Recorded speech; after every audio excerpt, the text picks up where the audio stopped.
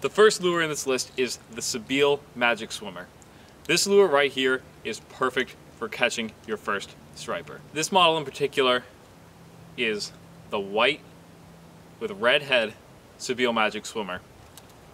It has a perfect profile, it's wide on the side, skinny vertically, and it's just an all-out fish catcher. This particular lure, this one right here, I found it on the beach and birds were pecking at it on the sand. It just goes to show you how realistic the Sebile Magic Swimmer can be. The next lure in this list is the black over purple Daiwa Salt Pro Minnow in floating. This lure right here is a nighttime lure.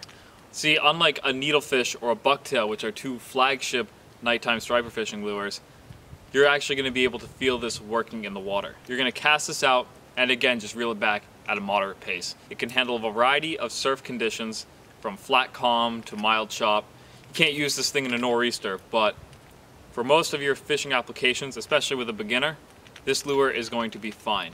Anytime that there are small bait fish in the mix like sand eels, this lure is absolutely perfect. Great beginner lure, and it will catch you a lot of fish. The final lure in this lineup is the Tsunami Sand Eel 7-inch soft plastic sand eel. This lure caught me the most fish in my 2016 season. It's another lure that you can uh, feel working in the water. You can just feel that tail thumping along when you're retrieving at the right pace. That action alone is going to catch you a lot of fish with a very simple and straightforward retrieve. Anytime that there are sand in the mix, anytime there are sand even remotely around the area that you're fishing, this lure will catch fish. There are certain situations where the tsunami sand eel won't call in fish like it should, and that's when I tie on a brown over chrome or sand eel color Daiwa Salt Pro Minnow, also floating. This lure right here has a little bit more of an aggressive swimming action than the Tsunami Sand Eel, which is beneficial in some situations when you need a reaction bite from the stripers.